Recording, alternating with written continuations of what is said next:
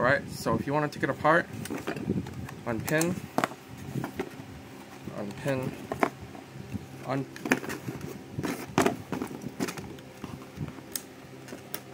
unpin. Oh.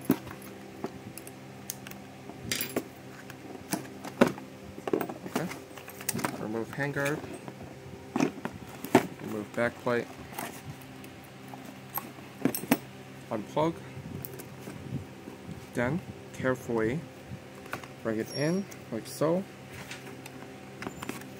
And then carefully remove the battery. Yeah, one moment. And then you can reassemble everything like that. Put the handguard pin back on. And then put the back plate back on, put the pins back in, put the pins back in, you're good to go.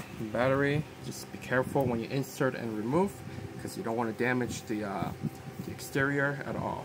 And that's about it. Thank you very much.